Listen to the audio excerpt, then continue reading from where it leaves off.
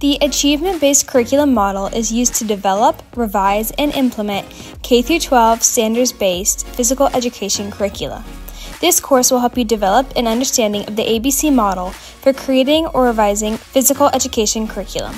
This program is based on cognitive, psychomotor, and behavioral developmental changes of students from kindergarten through high school. And this course is designed to satisfy Shape America's national standards for K 12 physical education. By completing the course and assignments, you will have articulated the differences between curriculum models, compared the different models to the ABC model, learned the steps, and developed a physical education curriculum.